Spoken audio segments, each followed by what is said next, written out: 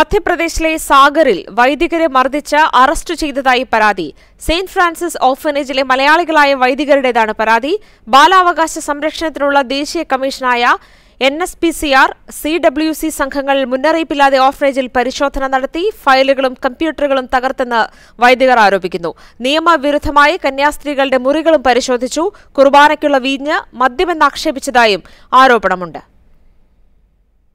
ഇന്നലെ പെട്ടെന്ന് രാഷ്ട്രീയപരമായ എന്തോ നീക്കങ്ങളുടെ വെളിച്ചത്തിൽ ഒരു കൂട്ടം അധികാരികൾ അവിടെ കയറി വരികയും എൻ സി പി ആറിന്റെ അധ്യക്ഷൻ സ്റ്റേറ്റ് ഗവൺമെന്റിന്റെ ചൈൽഡ് വെൽഫെയർ കമ്മിറ്റിയുടെ അംഗങ്ങൾ ഇവരെല്ലാം ഒരുമിച്ച് കയറി വന്ന് ആ അനാഥാലയത്തിലെ പല സ്ഥലത്തേക്ക് തിരിഞ്ഞു തിരിഞ്ഞു തിരിഞ്ഞു പോവുകയും ഓഫീസിൽ കയറി ഡോക്യുമെന്റ്സ് ചെക്ക് ചെയ്തു.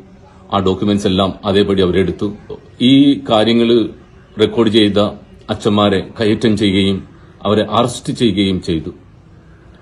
അറസ്റ്റ് ചെയ്ത് പോലീസ് സ്റ്റേഷനിൽ അവരെ ഹാജരാക്കി. എന്നാൽ വൈദികർക്കെതിരെ N C P C R അധ്യക്ഷൻ രംഗത്തെത്തി. സർക്കാർ ഓർഫനേജിനായി നൽകിയ സ്ഥലത്ത് വൈദികർ നിയമവിരുദ്ധമായി പള്ളി പണിതെന്നും നിരവധി നിയമലംഘനങ്ങൾ കണ്ടെത്തിയെന്നും പ്രിയങ്ക പറഞ്ഞു. മദ്യക്കുപ്പികൾ കണ്ടെത്തിയെന്നും മതം മാറ്റത്തിന് ശ്രമം നടന്നതായി സംശയമുണ്ടെന്നും എൻ അധ്യക്ഷൻ വ്യക്തമാക്കി.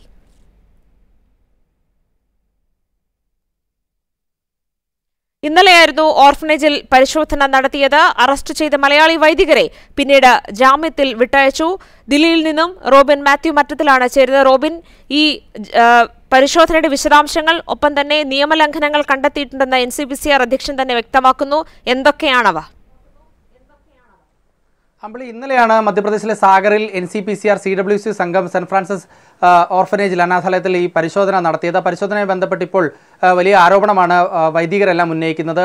ഈ പരിശോധന നടക്കുമ്പോൾ തന്നെ അത് ചിത്രീകരിക്കാൻ ശ്രമിച്ച വൈദികർക്ക് നേരെ കയ്യേറ്റമുണ്ടായി. രണ്ട് വൈദികരെ മലയാളി വൈദികരാണ് അവർ രണ്ടുപേരെയും കയ്യേറ്റം ചെയ്യുകയും പോലീസ് അറസ്റ്റ് ചെയ്യുകയും ചെയ്തു. പിന്നീട് അവരെ വൈദികർ ചെന്നാണ് ജാമ്യത്തിൽ വിട്ടതെന്ന് പറയുന്നത്. ഒപ്പം മറ്റൊരു പ്രധാനപ്പെട്ട ആരോപണമായി ഉന്നയിക്കുന്നത് ഇത്തരത്തിൽ പരിശോധനയ്ക്കിടെ അവരുടെ കമ്പ്യൂട്ടറുകളും ഫയലുകളും നശിപ്പിക്കുകയും പിടിച്ചെടുത്ത് കൊണ്ടുപോവുകയും ചെയ്തു. ഇത്തരത്തിലൊരു മുന്നറിയിപ്പില്ലാതെയാണ് പരിശോധന പരിശോധനയ്ക്ക് N C P C R C W C സംഘം എത്തിയത്.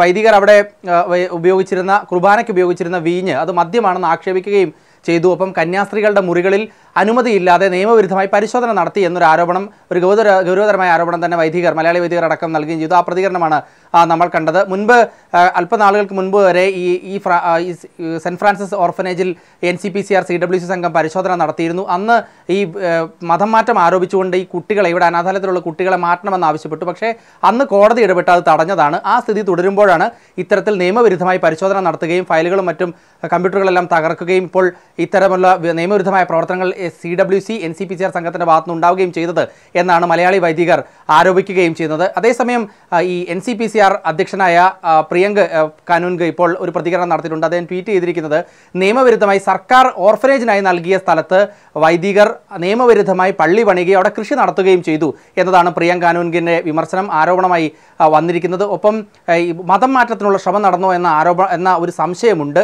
ഒപ്പം തന്നെ വിദ്യാർത്ഥികളെ അവിടെ താമസിപ്പിച്ച് ഈ ഓർഫനേജിൽ താമസിപ്പിച്ച് വിദേശ ഫണ്ട് നേടാനുള്ള ശ്രമമുണ്ടായി എന്ന ആരോപണം കൂടി ഈ ഒരു ഘട്ടത്തിൽ N C P C R ഉയർത്തുകയും ചെയ്തിട്ടുണ്ട്. എന്തായാലും ഈ വിഷയത്തിൽ കോടതിയുടെ പരിഗണനയിൽ ഇരിക്കുമ്പോൾ ഉണ്ടായ ഈ സർക്കാർ അധികാരികളുടെ എൻ സി പി സിആറിന്റെയും സി ഡബ്ല്യു സിയുടെയും നടപടി നിയമവിരുദ്ധമാണ്. അത് അംഗീകരിക്കാൻ കഴിയില്ല എന്ന ശക്തമായ വിമർശനമാണ് ഈ ഒരു ഘട്ടത്തിൽ വൈദികർ മധ്യപ്രദേശിലെ വൈദികർ നൽകുന്നത്. പ്രതികരണമായി നമ്മളോടക്കം സംസാരിച്ചപ്പോൾ അവർ പറഞ്ഞത്.